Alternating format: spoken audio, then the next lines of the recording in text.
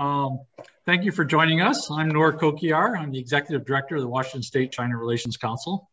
I welcome you today to hear Rick Larsen of the Washington 2nd District, who's going to provide some remarks and mostly answer your questions. That's what he would like to do today. Um, I'm sorry Rick's not on because the first thing I want to do is thank him because if those of you have, I have listened to him a number of times uh, once we've gone into lockdown here, and whenever he gets a chance, he does uh, mention the Washington State China Relations Council with the first uh, executive director ever, Mr. or Dr. Robert Kapp there on the screen.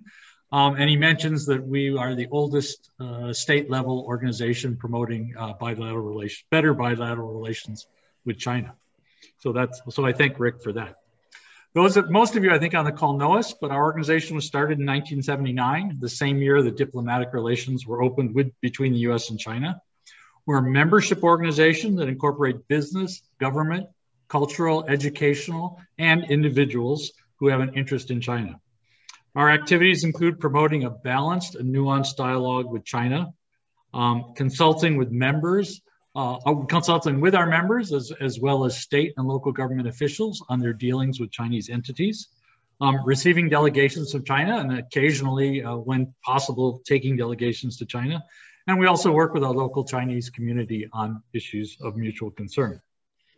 Last year, we founded a new organization, uh, which is a 501c3 and a charitable nonprofit organization that's primarily created to um, provide education about the interactions between Washington and China. We also assist in our local community, particularly with the Chinese community, and we always encourage your donations to help us with our work. Another big part of what we do is create timely and informative webinars. Um, we'd like encourage you to look at our website to see what new programs are coming up. Uh, for example, we're planning to have actually two sessions on the Asian hate crime issue, uh, probably very late in this month and in early June. We also have, uh, we'll have speakers. I see Michael Willis is on. We'll have some speakers from uh, NBR talking about China's growing military might and what China might do with that uh, increasing military power. That's going to be in later in June. And we also will do our first Mandarin session, um, uh, tentatively scheduled for the last, I think the last week of June, where we're going to talk about some pre-revolutionary Chinese films. We have a film expert who's written a oh. book on pre-revolutionary Chinese films who's going to talk about that. Okay, so let me move forward to talk about today's program. Um, and uh, you all know our main speaker is Rick Larsen. Our moderator is Sean Connell, Connell which I'll introduce in a moment. Um, a few bio notes on Rick. Rick represents Washington's second district, which includes parts of Snohomish, Skagit, Whatcom uh, uh, counties, and all of Island County and all of San Juan County. Rick serves on the House Transportation, uh, and Infrastructure Committee and the House Armed Services Committee. He's the chair and the most senior Democratic member of the Aviation Subcommittee. The work of this subcommittee is crucial uh, to jobs and the economy here in Washington State, and particularly in the second district.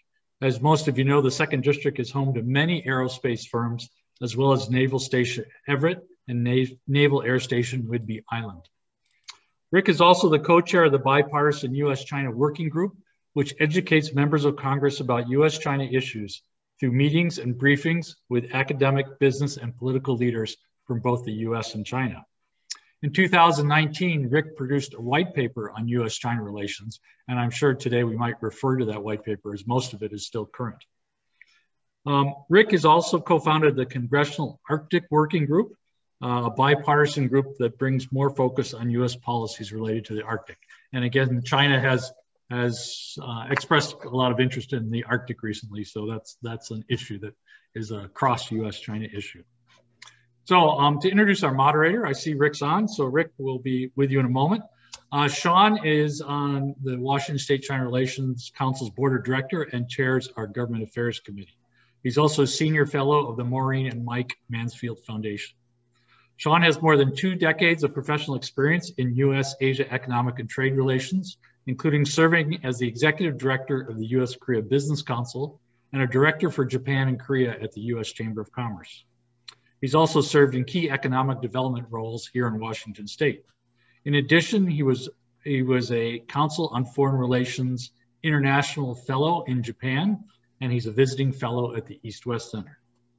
Okay, just before we start, Um, again, Rick is here. He'll make some introductory comments, and then we have some questions that many of you submitted, those of you that registered submitted in advance. So Sean will go through some of those, but in the meantime, uh, start putting your questions in the chat box and we'll try and get to as many of those as we can. Um, we are recording the session and we'll make available on our website how you could see it in the future if you'd like to, to refer back to it.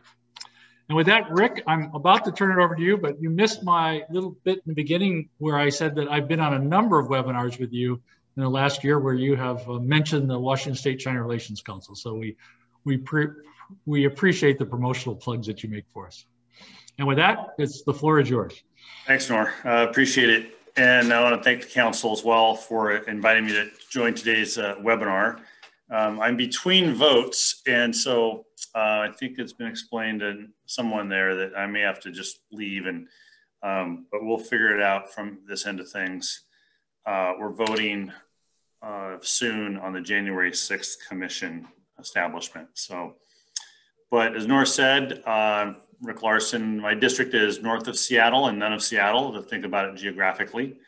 Uh, and he went through some of the um, uh, ge uh, geography and some of the things I'm doing in Congress. So I'll skip all that uh, and then just jump on to priorities in Congress. Uh, so one of my priorities in Congress is to be uh, a leading voice for economic and strategic engagement in the Asia Pacific. And the US China Working Group, which I helped establish now 16 years ago, is one way for members of Congress to meet and discuss and learn about the US China relationship um, and, and how it changes over time. So I started this in 2005, uh, and, uh, but had several Republican co chairs. The current Republican co chair is Darren LaHood, a representative from Illinois. I've traveled to China uh, 11 times with members of the U.S. China Working Group or as members as a member of a what we call a congressional delegation trip, a CODEL. Most recently, we were there in 2019, and uh, look forward to traveling again to China once we can get past the pandemic and sort out what the rules are for traveling to China. Uh, members of Congress have diverse views on the relationship uh, that the United States has with uh, China.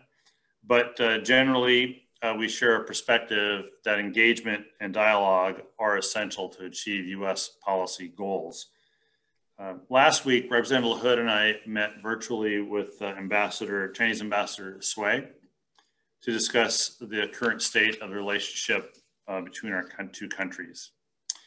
Um, so we're still maintaining engagement even through the pandemic. As Nor outlined in his uh, op-ed in the Seattle Times recently, the bilateral U.S.-China relationship is not just an issue that matters in Washington, D.C.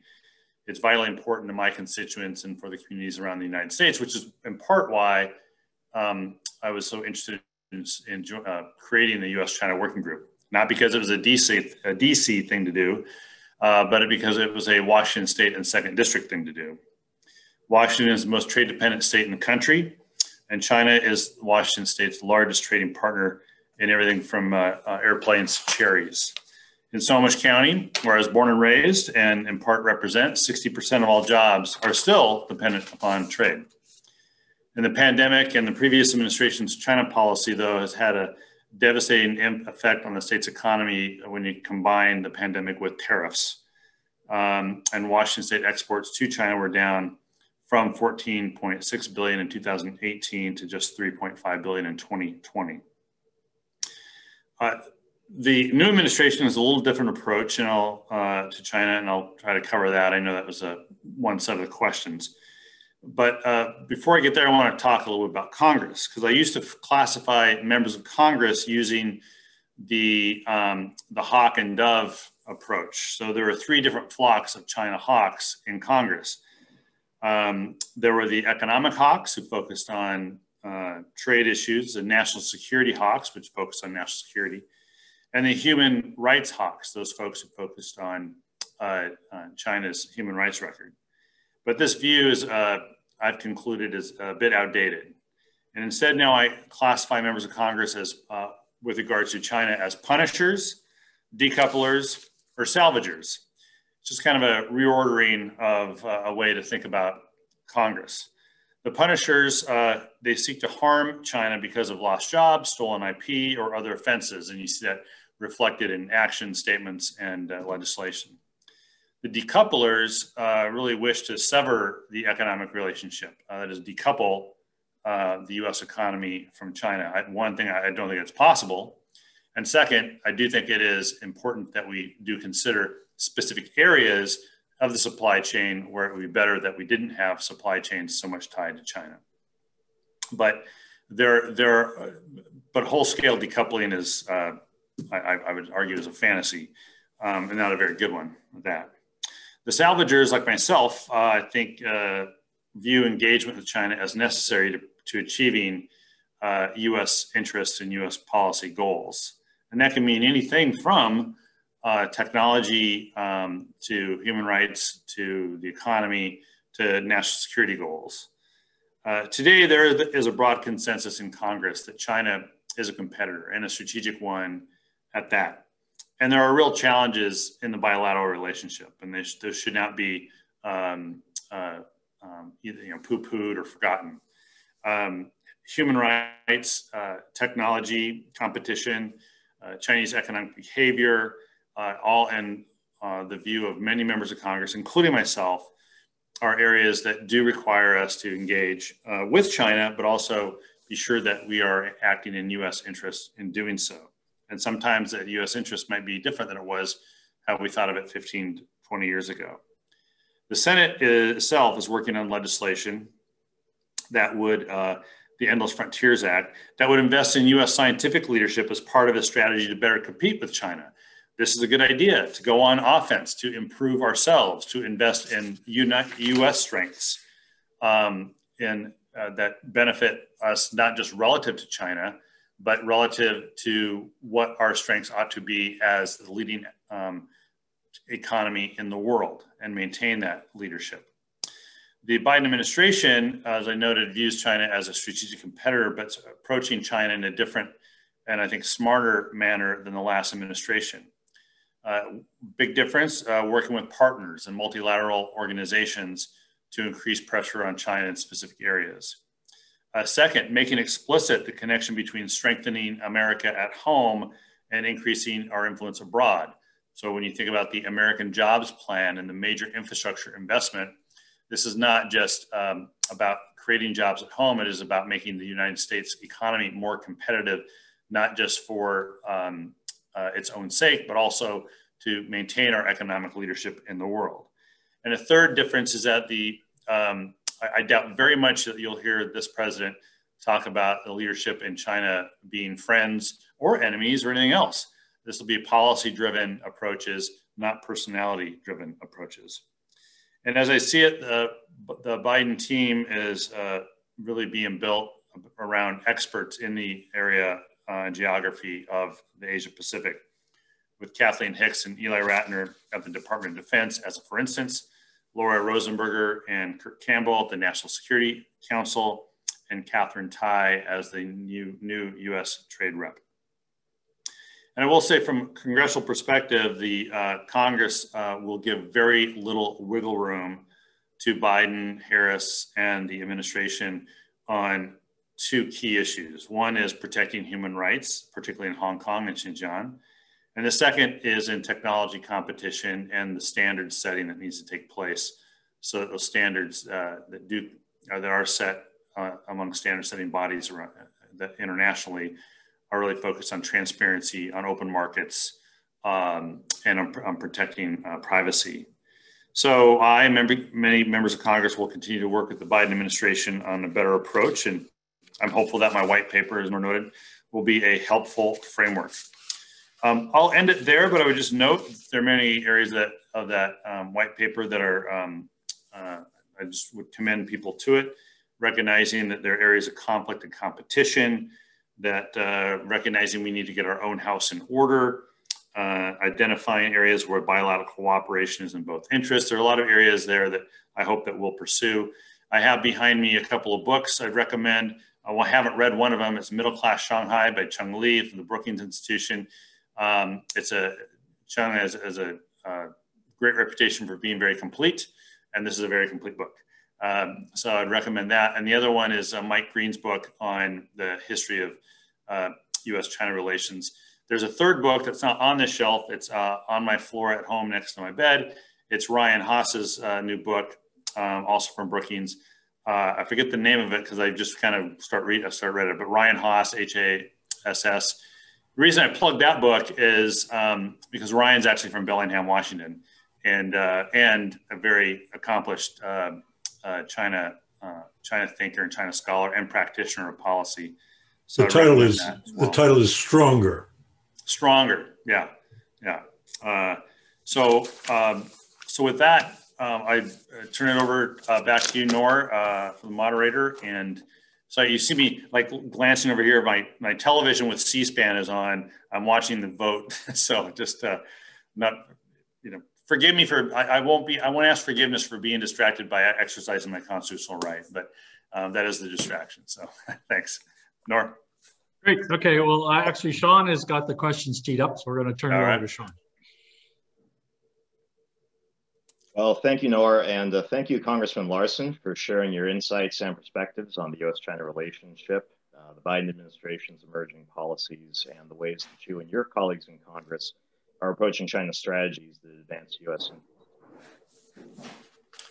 Speaking with Nor, the Council and its members deeply appreciate your leadership in advancing a proactive whole-of-government U.S. strategy for China. In reviewing your white paper, one of the things we were struck by was how many of your recommendations have already been taken up by the administration. And also the degree to which they dovetail with recommendations uh, the council has heard from its members and from its partner industry organizations here in Washington state about what Washington businesses are looking for to increase their competitiveness with China. And uh, to start off uh, our discussion today, uh, and also to bring this back to the uh, to the local connection, including um, the reasons you mentioned for creating the working group, because this is so critical here in Snohomish County, and across the second congressional district. From your vantage point in, China, uh, in Congress, what are the most important actions that Washington state businesses, state and local officials, and other stakeholders uh, here within the state can do to help advance constructive and competitive U.S.-China relations? Yeah, thanks. I think the I think the first thing, uh, if if you if you haven't arrived at the point of understanding this, you, you I would ask you to please do this you need to arrive at the point that, oh, by the way, Sam Kaplan's book is a real good one too. Hi, Sam. Um, uh, um, uh, you have to arrive at the point that the, um, the bilateral relationship is not in a great place, that this administration and this Congress uh, is going to be much tougher than it was, say, under the Obama administration's approach although I think the Obama folks would totally disagree with me. Uh, but there are Obama folks who are now serving in this administration who have also um, changed their uh, kind of ch- changed their approach approaches somewhat to be a little bit uh, a little bit tougher on the relationship, especially in, in national security issues and economic issues, and um, uh, and so that if you're taking an approach that again, that, that maybe the U.S. Uh, business community will be the, um, you know, the bastion of engagement. Um, you're, you're a little bit out of step with the approach that the administration is taking, and I think uh, is the reality of the current state of the relationship. We do need to be more vocal about state-owned enterprises. We do need to be more vocal about um, protectionism. We do need to be more, much more vocal about uh, technology and the security. More importantly, it's the security around the technology. Uh, it's not just technology for its own sake. Uh, it's the security around the technology, and understand that that's for real. And there's not, again, I said no. There's no wiggle room there from Congress, but it also is a current state of reality, and it's a current and it, and it's and it's the reality. I think we maybe sometimes got there by accident, but it actually is a pretty good reflection of the kind of the approach that we ought to be taking right now. And I say that as someone who we, we need to engage with China. Um, I have colleagues who just re, you know look at me like I'm got a horn growing out of my head um, when I argue that it's better to be in the room making this point than outside of the room yelling at a door that's closed in your face. Uh, but uh, engagement is is still pretty critical. So I think you need to understand. The second thing is there are areas of cooperation. Ryan Hass talks about this in his book. I talk about my white paper. Even the administration is taking this approach too. we are going to be approaching at some point what to do about tariffs. We will certainly already we're approaching uh, climate change and the economic opportunities that can come with climate change, uh, helping China, helping the rest of the world as well. Um, we will be cooperating um, it's a reality on pandemic and pandemic recovery and on future global health. That we just have to do that, and we can't do that without China. China can't do it without us. We can't do it without the rest of the world. So I think you need to just be more particular in uh, looking at where those opportunities are, but just understand as well that it's it's not like it was um, uh, uh, in terms of the the bilateral relationship. Thank you uh, for for those perspectives, and uh, this uh, this moves into another question that uh, you've already touched upon a little bit, which is some of the pending legislation uh, that is currently uh, under consideration or being discussed in China, you, or in, in Congress. I apologize. You mentioned the Endless Frontiers Act. It's, it's, being discussed in China as well. I yeah. you. Mentioned the Endless Frontiers Act. there's also the Strategic Competition Act. And uh, from your vantage point, which which of these bills that are out there or that may be under discussion but not uh, yet introduced might have the biggest impact either for for positive improvement in the bilateral relationship or also for really increasing Yeah, yeah. I look. I think um, you know I, am a little bit of a heretic here, and Bob Kapp, if he had any hair left, he'd be pulling it out uh, as, as I would too, and being a little bit of a heretic because um, it's just that the, the focus on the bilateral relationship is important, but frankly, under this administration, um, we have to be sure we're doing the right things domestically so we can do the right things out, you know, in the world. And so the Endless Frontier Act is actually, even though it's being billed as some something that you know position us better vis-a-vis China, it will do that. But it is something we should be doing anyway, and it's sort of using China as an excuse to do things we should do anyway. Um, and it is, and as I said, it's it's much more going on offense here in the U.S. to build up our base to be stronger in terms of R and D uh, and in terms of investing in our own economy. A critical part uh, of that uh, of of what we need to do in order to um, address the competitive issues that we have with China. Uh, the Strategic Competition Act is a little less of what I would propose that we do, frankly, and I think uh, we agree on that um, for sure. It's much more um, uh, poking at China, um, uh, uh, much more, uh, much, it looks at China much more as an aggressor that we need to um, be aggressive against.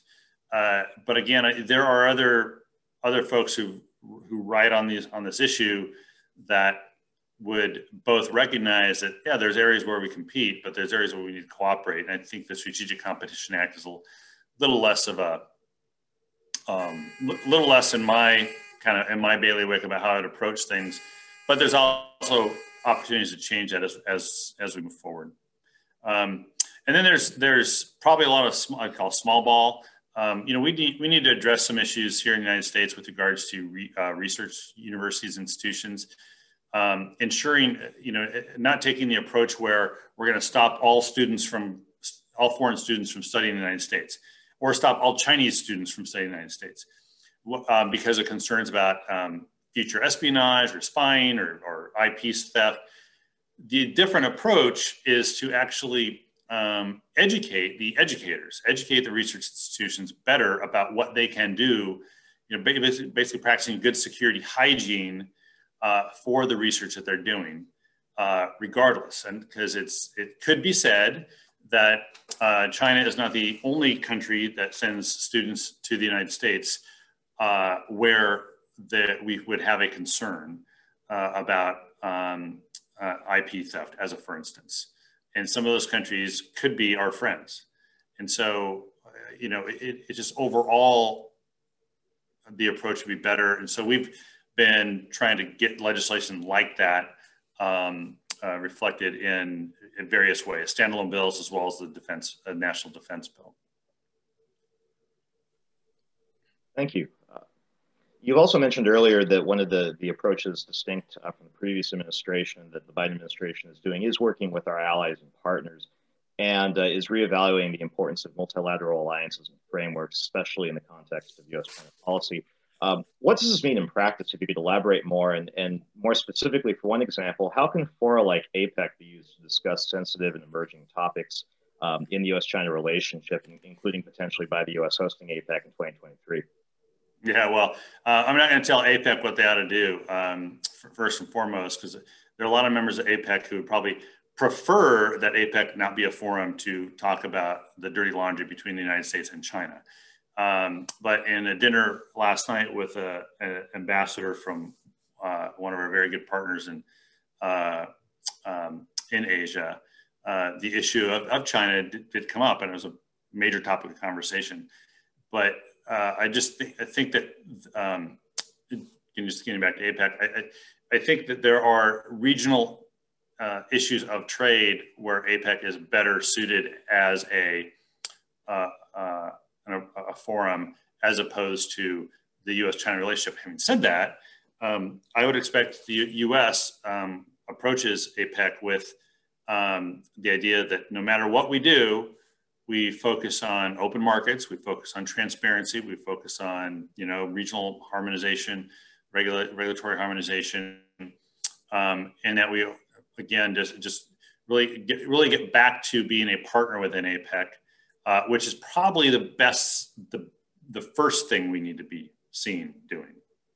And, and after, you know, and after that, then we can, then we can sort out the issues. But I think being seen as, uh, being seen by other members of APEC as, um, as being there to assist, to help, to participate, to be a partner is probably, we need to, we, and I think we will, we just need to, that's the first hurdle. And after that, you know, it's like, after that, who cares?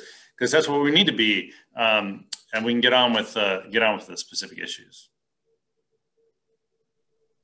Thank you. Pulling from some of our chat box questions, uh, Congressman, what is your suggestion for the Biden administration to engage with China on climate change and other global issues, uh, and also to push China to follow rules-based international order at a time when uh, China's behavior is a bit more aggressive, including in Xinjiang and Taiwan Straits, um, in advance of the uh, the upcoming 20th National Congress of the CCP? Well, look, I, I, think that I think the Chinese government would say they're all for the rules-based international order. It's just the one that where they where they create the rules, and um, I think that uh, we need to, um, as a result, we need to be again out in the world um, with our friends, with our allies, being the leader on the rules that we help create over the last 70 years, which actually did bring economic prosperity to the entire world, including China. And the idea that these rules somehow need to change uh, just because China has a now second largest economy and and, and has done a masterful job of uh, alleviating um, um, a lot of poverty. Uh, there are many things to, to turn to China's economic, to look at China's economic success, and everyone should say that is great. But um, the rules based order that we talk about and no one understands, like no one at home, like you, you say a rules based order in, in, my district, like, and like frankly, no one, no one should understand it. It's, it's, we need to come up with different terms that, that, you know, that average folks can grab onto and, and feel like they're comfortable with it. But having said that, um, it's the same rule based order that helped bring this economic prosperity that everyone benefits from. Uh, so it seems to me that we should be um, going into, um, uh, well, continuing our, our participation in international institutions, in standards bodies on the technology side, as I noted, uh, on human rights bodies like the Human Rights Council and at the UN, and really just keep driving home both the you know the, the soft power message, the smart power message, uh, how we how we want to see the world, and hopefully attract flies to honey as opposed to you know browbeat people uh, browbeat um, folks who might be naturally our friends or our partners on these things. Uh, and i think that's the most uh, effective way. On climate change i would just say that um, uh, this is a this is a this will be a big issue that special envoy kerry um, uh, um, carries uh, to the world on behalf of the president and the vice president uh, and that includes China, and it will include China in a very substantial way. There are benefits to uh, China uh, and the Chinese people, I would argue, for addressing climate change. I've been there in January in Beijing in January where you couldn't see across the street because of the smog. Many of you have as well. I've also been there in May where I could see the, the faraway hills because it's so clear. Um, uh, but the point is uh, that uh, China's pollution problem is, an air, pro air problem, it's a water problem, and it's a, therefore a public health problem. Therefore, it's a problem for the Chinese Communist Party's credibility. So it, the party has an interest in addressing this and addressing it effectively. And that's why the American Jobs Plan in the US is so important because they're trying to use, not to get into commercial here, but we're trying to utilize this major investment in infrastructure in our country to help us turn the corner in a, cleaner and greener transportation system uh, in an area of our economy uh, that contributes quite a bit to carbon emissions. Not surprisingly, uh, the Chinese government's approach is somewhat the same when you look at, just as a for instance, its electric vehicle investment. So we're going to be able to each benefit. Um, sorry, I'm just watching the clock here. Uh, each benefit from uh, from working together on, on climate change. Thank you. Uh, I, another question. I, I, can I can multitask. I apologize, right. but I just you just keep talking. All right. Thank you very much. We uh, have another question here in the chat box regarding state-owned enterprises. Uh, since 2019, China has privatized five state-owned enterprises with external capital and governance, and domestically merged three of them. There are only 50 national state-owned enterprises, and how many need to be privatized for you and others in Congress to be more comfortable uh, with them? I'm sorry, you mumbled the question. Oh, sorry. Uh, so the question is, uh, there you are only the last part. You mumbled the last part. What was the last part? There, there are only 50 national state-owned enterprises. How many do they have to privatize to make you more comfortable? 50. Next question. I'm not even going to entertain that. That's a that's a. I, I don't know who asked that question. I won't ask who asked that question, but I can guess, uh, but I won't guess. But also say 50. Thank you. Next question. Uh, it was noted that it seems to be forgotten. Uh, the, the media war between the US and China seems to be forgotten. Obviously, there's been some uh, actions on both sides, expelling reporters. Uh, and ultimately, the question are any thoughts on whether Congress can uh, nudge the administration to reach a consensus with China on this issue? Um, you know, uh, I'd, I'd hope so. Uh, there's this, you know, there's been this tit for tat, some people call it reciprocity, um, this tit for tat on, um, on approaches. And I don't think we're ever we should ever expect that our U.S. based reporters or European reporters, fo- folks who have a, a, tradition of reporting actually um, uh, with transparency, uh, that the, that the Chinese governments um, or local governments in China are going to accept our our standards of reporting and how we educate reporters at the you know at the Edward R. Murrow School of Journalism at the at Washington State University. But uh, by the same, but that doesn't mean we shouldn't um, advocate uh, to have um, uh, reporters uh, in, uh, in you know in Beijing and ensure or, or, not ensure, but certainly do what we can to defend the um, the freedom of press as we see it uh, regardless. I also think that we need to, uh, like here in the U.S., we need to just be careful about you know making the Chinese media that's here in the United States, a, you know, a giant, a ten foot giant.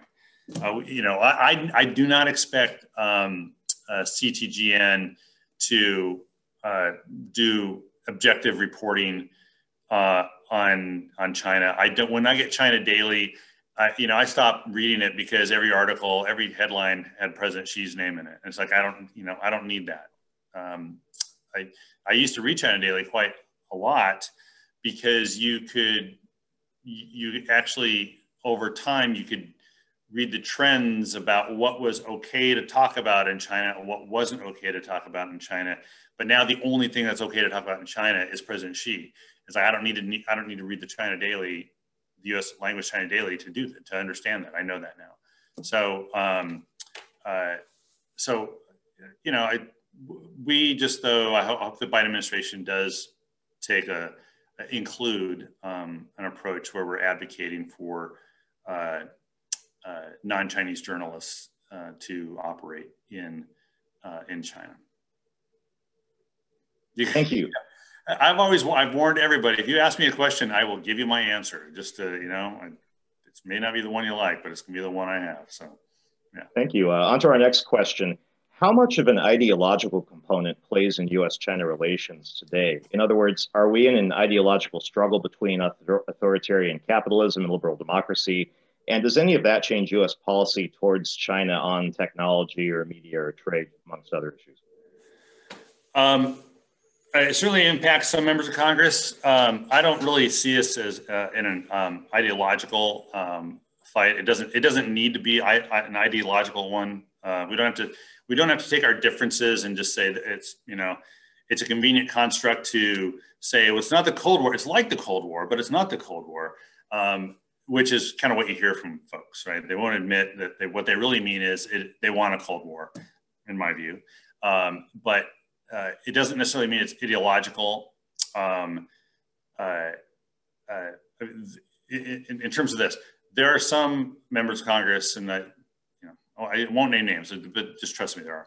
They, they and, and some scholars who see this as ideological, and that um, it really is. If China wants world domination, that is, the Chinese government, the Chinese Communist Party uh, wants enough countries to adopt its model in order to influence enough institution, international institutions and international decision making in order to basically leave it alone. And uh, but to do that, it needs to have the, this control, this ideological adoption of what it's doing. Um, essentially, to leave us out, leave us out. That's that's my very simplified um, Arlington, Washington view of the view of the argument. Um, I don't think it's off base too much. Uh, but I don't think we need to have that argument to, under, to have an understanding like, well, what if, I mean, what if we just, in the United States, just took policy positions and pursued US interests that were around transparency and open markets and human rights and democratic small values, democratic values with a small d, and um, and helping partners and cultivating allies and sending vaccines. Um, more, by the way, 20 million vaccines will be more vaccines and being sent by China or Russia. Um, you know, and just doing the right things on the soft power side. Most folks want us, most countries that I've talked to want us to do those kinds of things. And they're more than happy. They don't, and they don't want to choose between the US and China, and they won't choose but it makes them it makes it harder for China if we do all these right things, truthfully, and then our friends and partners who don't want it don't want to be forced to choose can actually take actions that are supportive of U.S. goals and U.S. interests, and still they don't have to they haven't made a choice because we don't we're not if China's in an ideological race with us, I'd be you know it's kind of like it's hard to insult someone if they don't understand the insult.